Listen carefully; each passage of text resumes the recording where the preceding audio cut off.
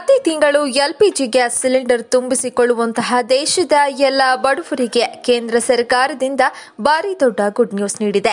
ಅಡುಗೆ ಅನಿಲ ಬೆಲೆ ದಿನದಿಂದ ದಿನಕ್ಕೆ ಗಗನ ಮುಟ್ಟುತ್ತಿದ್ದು, ಬಡವರಿಗೆ ಹಾಗೂ ಜನಸಾಮಾನ್ಯರಿಗೆ ಬೆಲೆ ಏರಿಕೆ ಹೊರೆ ಉಂಟಾಗಿದೆ.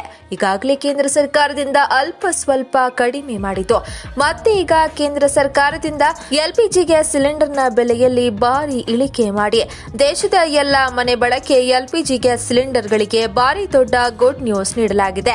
ಬನ್ನಿ, ನಿಮ್ಮ ಮನೆಯಲ್ಲಿಯೂ ಕೂಡ ಈಗಾಗಲೇ ಭಾರತ್ ಗ್ಯಾಸ್ ಅಥವಾ ಇಂಡಿಯನ್ ಗ್ಯಾಸ್ ಅಥವಾ ಎಚ್ ಪಿ ಗ್ಯಾಸ್ ಸಿಲಿಂಡರ್ ಇರುವ ಗ್ರಾಹಕರಾಗಿದ್ರೆ ತಪ್ಪದೆ ವಿಡಿಯೋವನ್ನ ಈಗಲೇ ಲೈಕ್ ಮಾಡಿ ಹಾಗೂ ವಿಡಿಯೋನ ಕೊನೆಯವರೆಗೂ ನೋಡಿ.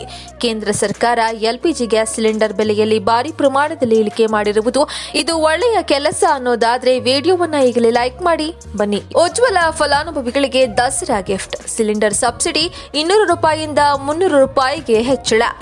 ದಸರಾ ಹಬ್ಬಕ್ಕೆ ಮೋದಿ ಸರ್ಕಾರ ಉಜ್ವಲ ಯೋಜನೆಯ ಫಲಾನುಭವಿಗಳಿಗೆ ದೊಡ್ಡ ಉಡುಗೊರೆ ನೀಡಿದೆ. ಪ್ರಧಾನಮಂತ್ರಿ ಉಜ್ವಲ ಯೋಜನೆಯ ಫಲಾನುಭವಿಗಳಿಗೆ ಈಗ ಎರಡು ಸಾವಿರ ರೂಪಾಯಿಗಳ ಸಬ್ಸಿಡಿಯನ್ನ ಮತ್ತೆ ನೂರು ರೂಪಾಯಿ ಹೆಚ್ಚಿಸಲಾಗಿದ್ದು, ಈಗ ಮುನ್ನೂರು ರೂಪಾಯಿ ಪಡೆಯಲಿದ್ದಾರೆ ಎಂದು ಕೇಂದ್ರ ಸಚಿವ ಅನುರಾಗ್ ಠಾಕೂರ್ ಹೇಳಿದ್ದಾರೆ.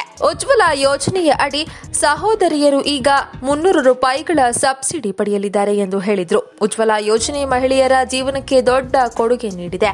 ಆದ್ದರಿಂದ ಈಗ ಇನ್ನೂರು ರೂಪಾಯಿಗಳ ಬದಲು ಮುನ್ನೂರು ರೂಪಾಯಿಗಳ ಸಬ್ಸಿಡಿ ಲಭ್ಯವಿರುತ್ತದೆ. ಈ ಹಿಂದೆ ಉಜ್ವಲ ಯೋಜನೆಯ ಅಡಿಯಲ್ಲಿ ಜನರು ಸಿಲಿಂಡರ್ನಲ್ಲಿ ಇನ್ನೂರು ರೂಪಾಯಿಗಳ ಸಬ್ಸಿಡಿಯನ್ನ ಪಡೆಯುತ್ತಿದ್ರು ಎಂದರು.